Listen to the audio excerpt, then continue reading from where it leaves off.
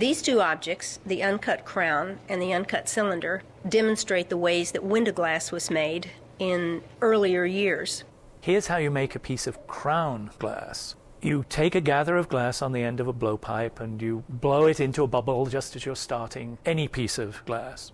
You then open it up as though you're making a glass bowl. But what you do is you reheat it, and while it's very hot, you spin it as fast as you can on the end of the blowpipe. Something called centrifugal force comes into play, and the glass simply splays outwards, and you keep twirling it on the rod until the glass is a perfectly flat disc, except for the bit at the center, because you've got to get it off the end of the blowpipe.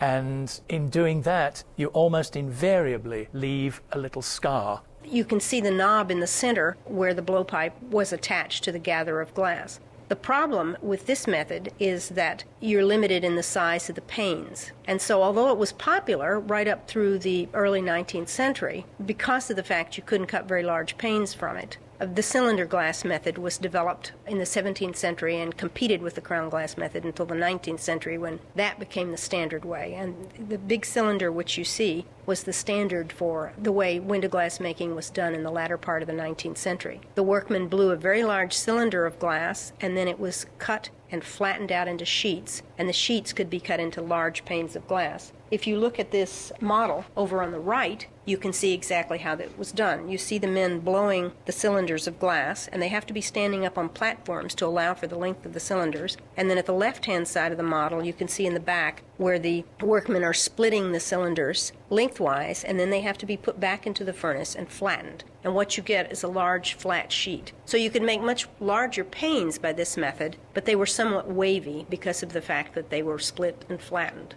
If you look at Victorian windows today, you'll often see that half of the window or even the whole sash is one piece of glass. And if you look at those, though, you can see the wavy lines